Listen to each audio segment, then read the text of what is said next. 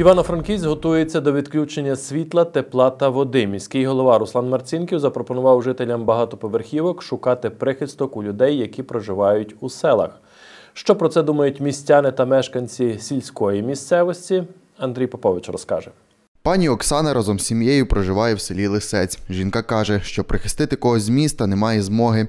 Втім, додає, що в разі нагальної потреби односельчани людей в біді не залишать. Є люди, які мають можливість, мають е, е, такі умови підходящі і могли би прийняти. Я рахую, що так. І по селах взагалі багато житла є, куди можна прихистити, тому що люди мають і літні е, кухні, і якісь підсобні приміщення прилаштовані до тимчасового проживання. Так що самі би перейшли, чи когось би прийняли. Є двохповерхові будівлі по селах. Я думаю, що можна таке організувати. Такої думки і голова Лисецької територіальної громади Анатолій Лущак. Село готово на всі ризики життя, адже село завжди приймає. І коли ми маємо святкові свята, Різдва, Пасха, ми бачимо, що міста пустують, а села багатіють якраз людськими ресурсами. Село завжди е, виручало, виручало.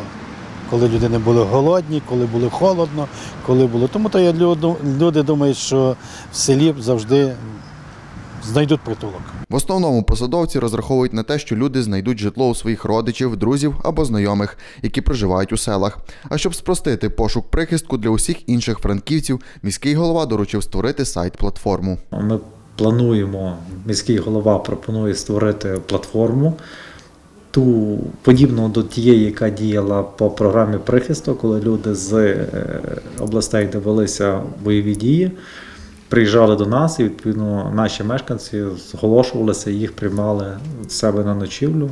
Інколи зовсім незнайомих людей. Вони просто бачили, що хтось пише, я потребую житла.